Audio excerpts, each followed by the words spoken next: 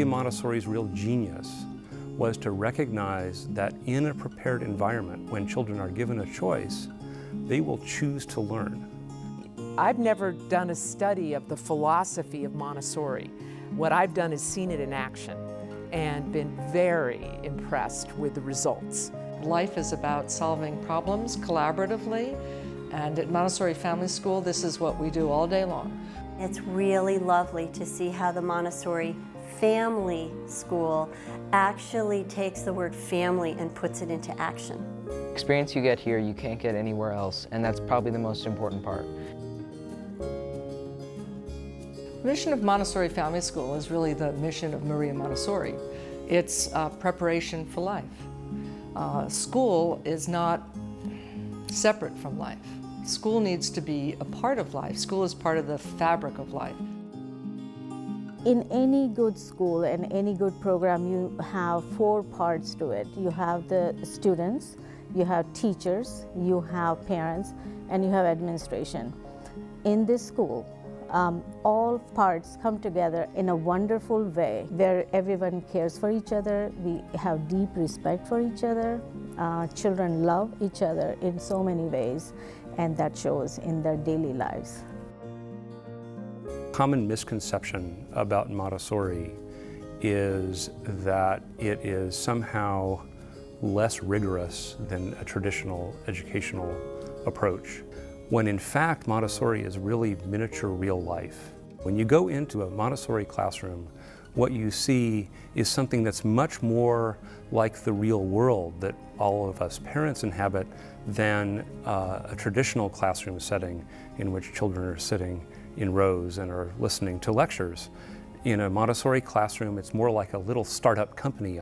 You see children who are freely collaborating with each other on projects. They're forming uh, on their own uh, initiative forming collaborations with each other. We have two campuses that we own.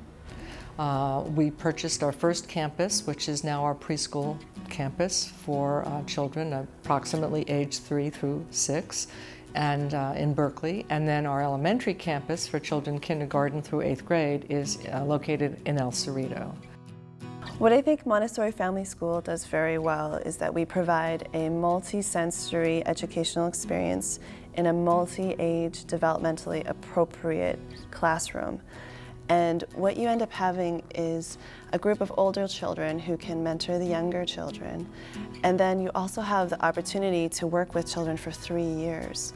And so you really get to know what their needs are and can meet them exactly where they need to be met.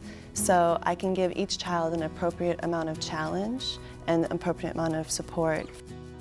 One of the things that was actually a little challenging for me at first was the mixed age groups.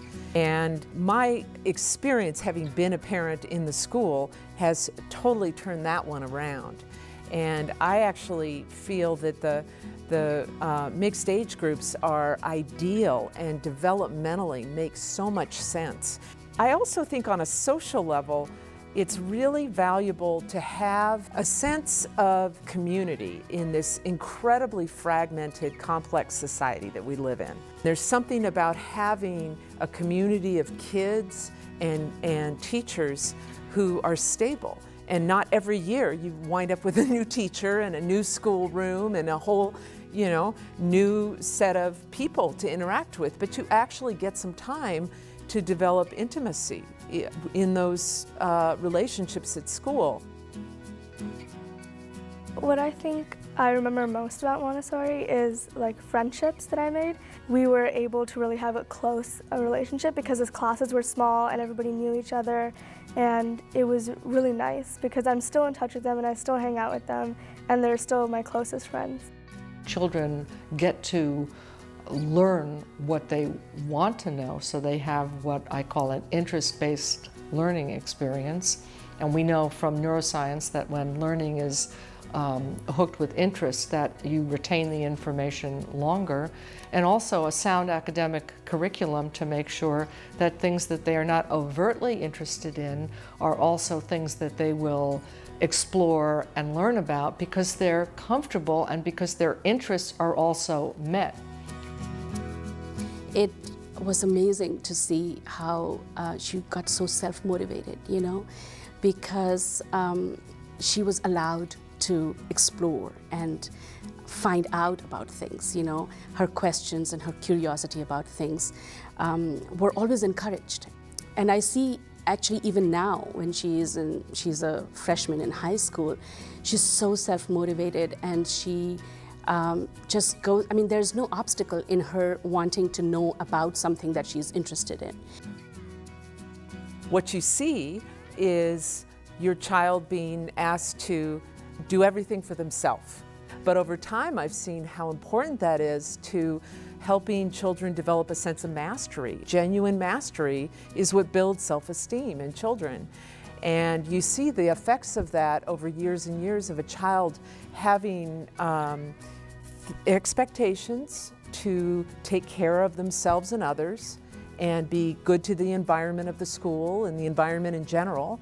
And over time, you see the child developing genuine confidence. And I think that is probably the biggest thing that's unique to this school and this method that I don't think you see in a conventional school environment.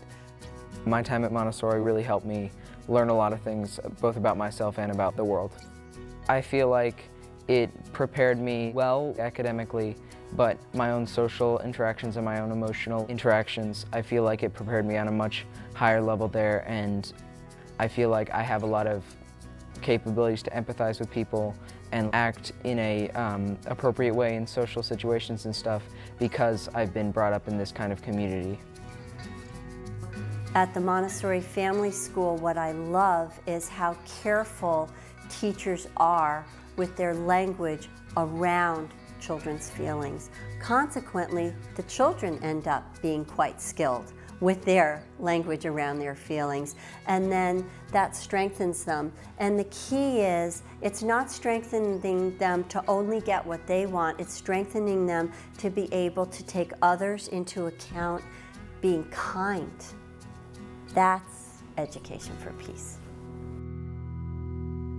Middle school, the years are tough. They're sort of fraught with challenges and the early adolescent feels very upside down very quickly. In a Montessori middle school classroom, the same care and love and support is provided that has been provided all along. At the same time, we also then provide an academic program that will move the child forward to get them ready for the next phase of their development, which is high school. The middle school years is an important time for social justice, and that is fostered. It doesn't really suit anyone to have a young person go out into the world only academically prepared. They need to also understand the lessons of perseverance, working with others, being part of a community. The academics are very strong, and my son had no trouble getting into the top schools of his choice and very competitive academic programs. And that's not what is the only thing that a parent should really consider when they're sending their kid to school. Pay attention to the teachers and to the people and to the children. Pay attention to the way it feels. The changes that I've seen in my children as they've progressed through Montessori Family School is an increasing sense of independence and autonomy in what they do. I see them uh, loving to learn. They find that deeply satisfying, and we find it very exciting to watch. Montessori Family School education is a gift that you give to your child. And it is um, the most important gift that you can give them.